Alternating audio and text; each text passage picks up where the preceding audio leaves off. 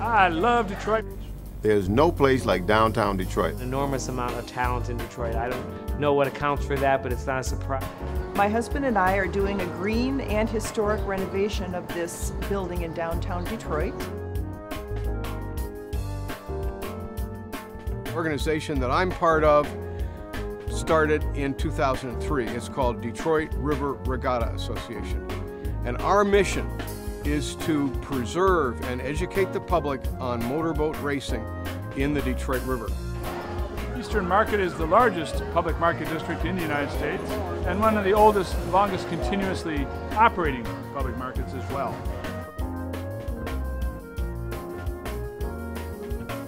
It, there's such a hunger from the young people here in Detroit and such a willingness to uh, commit yourself to something that's good, something that's positive.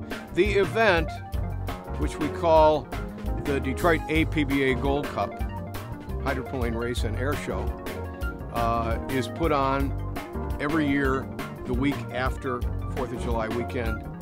And we have thousands of people in this pit, uh, a full grandstand right there, that's about 10,000 people. The judges stand, Henderson Park is full of people, and then all over the Belle Isle beach there, people camp, uh, and we estimate probably 100, 100, 100 to 150,000 people over there. There are thousands of people at the Detroit Yacht Club. This, one of Detroit's most organic and unique places. On Saturday morning, you can come down here, have a good time. All walks of life, young, old, rich, poor, suburb, urban. People come with their kids, they come with their grandparents, and they leave feeling a little bit happier and a little bit better off.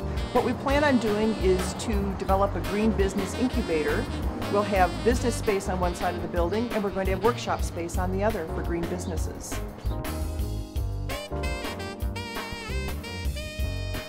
Motown started here, and so many great uh, uh, musicians and, and artists come from here.